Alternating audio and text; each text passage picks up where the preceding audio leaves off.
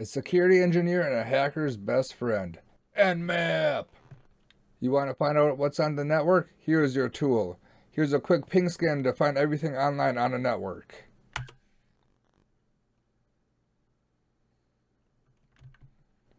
Here's a quick scan to scan for open ports on devices on the network. This will give you options for vulnerabilities on these devices.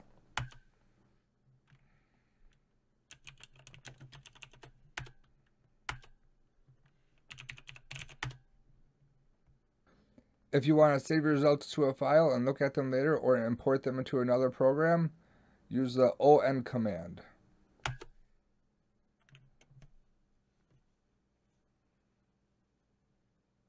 You want to do an nmap scan and pretend to be something else?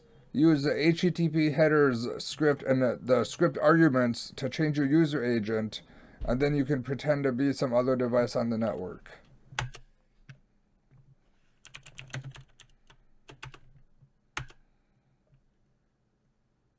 This is what a normal nmap user agent looks like, and this is one with a custom user agent header. You can change it to whatever you want to blend in.